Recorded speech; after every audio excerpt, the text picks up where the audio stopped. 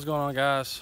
Torn back with another video. I know it's been a little while, but we're back with another install video. Uh, Charger's getting a throttle body spacer, cold air intake, enclosed cold air intake, and a 180 degrees thermostat. To keep it cool. Uh, we got the parts and stuff laying over there. We had our boys' Manny house, have a nice garage day. We're gonna install these parts, show y'all kind of how to do it, and give the opinions for it and then you know just share the content with y'all. Catch y'all later in the video. Peace out. All right guys so like i was saying finished all the throttle body spacer went with the AFE they say it don't really work but i'm gonna be the test dummy for y'all and see if it does. Uh intake isn't in the mail yet. It's AFE enclosed. And 180 degrees thermostat which we already got it installed is just nothing just three little bolts. Take the hose clamp off put the new one in. Uh, but and then of course your throttle body just take it off. Four screws keep your o-ring in. Got the new gasket. And then put your throttle body spacer on put your intake manifold back together. That's pretty much it for the most part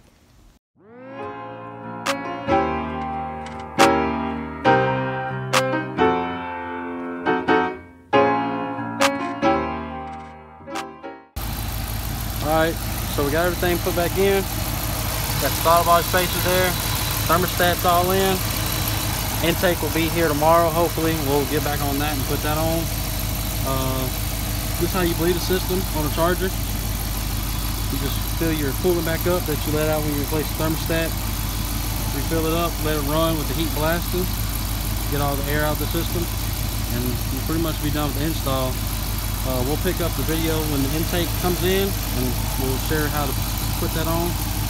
But other than that, 180 degree thermostat, easy install right there, three bolts, throttle body spacer, four bolts, and then new hardware goes back in.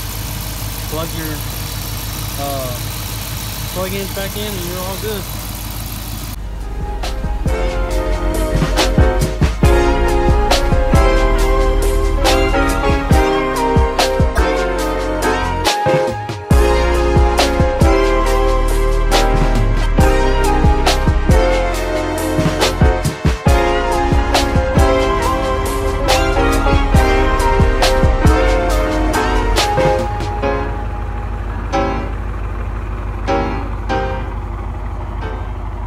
Alright guys, picking it up day two. Uh, just got the air intake in the mail. Went with AFE, like I told y'all. AFE closed box. Just like that.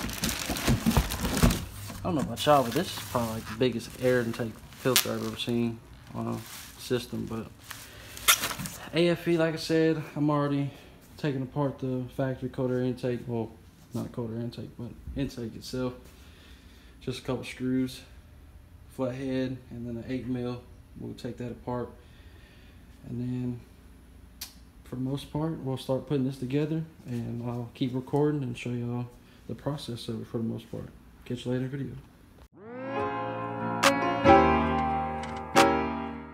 Alright guys, now that we got the intake out, factory intake, you want to pull your parts out of your new one, which you got your couplings and your grommets and everything right there, your tube. Uh, they say the first step, what you reading instructions is put your little rubber outliner on and then put your cone inside here until it locks in, which is in there. I haven't, I'm gonna cut this tail off right here before we do it. Well, that's the first thing. Go ahead and get your enclosed box ready and then start putting your couplings on your uh, throttle body and then just kind of follow instructions. But I'm gonna record and kind of show y'all, but I'll show you. all Alright guys, so got my filter installed, as you can see, inside my box. Make sure you follow instructions and you remove your factory grommet from your factory air box and put it right there so you can bounce it back to the uh, bumper of the car and then from there you just kind of set it in place and tighten your bolt back down for the most part.